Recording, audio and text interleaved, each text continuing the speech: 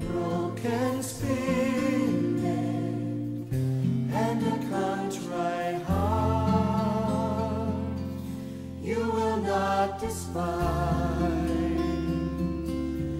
you will not despise. You desire to